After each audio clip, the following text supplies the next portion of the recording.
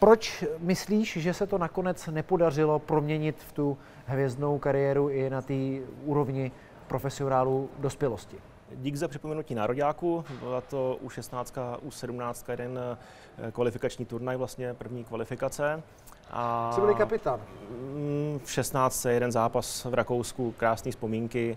Eh, asi do smrti si to budu pamatovat. Je to fakt jako hodně speciální, ten dres nároďáků, vedeš ten manšaft, máš nějakou odpovědnost, hraje ta státní hymna, rodiče tam jsou, který brečej, eh, takže... Jsi hodně, eh, já ne, já ne, já jsem měl tvrdý poker face během té hymny, to mám i fotku a bylo to jako fakt úžasný. Škoda, že ten okamžik byl pouze takhle jednou. Nepovedlo se to zopakovat k té otázce a měl svou hru postavenou mm, spíš na dřině, na, práci.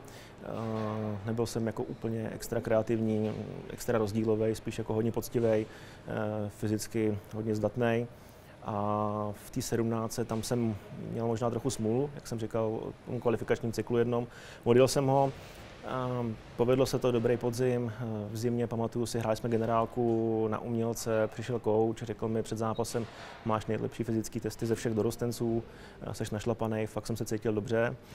I v prvním poločase toho zápasu s Kladnem jsem se cítil dobře. Myslím si, že můj protivník to nezvládl, že hrál druhý housle v tom zápase, no a asi šestá vteřina druhého poločasu dohrál mě po odehrání míče a natrhl mi po straně kolení vás a pak jsem se začal sypat zdravotně. Zdravotně, zdravotně to šlo do háje, dalo by se říct. Uh, určitě dlouho mi trval návrat, tenkrát jako nebyl úplně super přístup od doktorů, nebyly tenkrát. Jsi to měl snad v sádře tenkrát ten?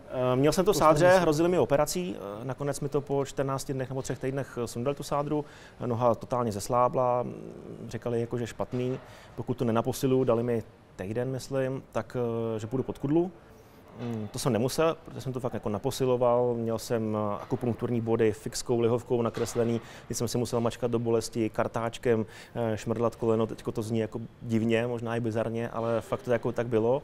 Eh, I do fitka jsem chodil, dělal předkopy, zákopy, abych to v koleno fakt jako osvalil.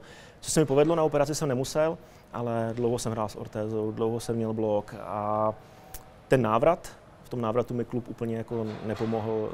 Bylo to Teďko zpětně vlastně hodně zvláštní, že se byl v nároďáku, byl si v repre. Myslím si, že tenkrát už jsem měl i jako profi smlouvu na, na pár drobných, ale i tak.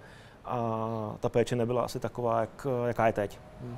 Takže tohle to trošičku zazlíváš, dejme tomu i Slávy, eh, týmu tehdejšímu klubu, že se o tebe nepostarala maličko líp. Jo, čekal bych asi jako něco, něco jiného, ale jak říkám, tenkrát fakt tam nebyli doktoři, nebyli tam úplně maséři, bylo to dělané jako v horších podmínkách, než je to samozřejmě teďko, ale čekal bych, jako, že se o tebe budou asi víc jako zajímat. Já jsem přišel na trénink, nikdo nic, tak jsem šel si dělat svoje věci, nosil jsem si expander, dělal jsem si svoje věci, až vlastně, když jsem byl trochu schopný něco dělat, tak se mi začal zajímat. Líbil se vám tento rozhovor? Puste si další ukázky z České uličky na O2 TV Sport.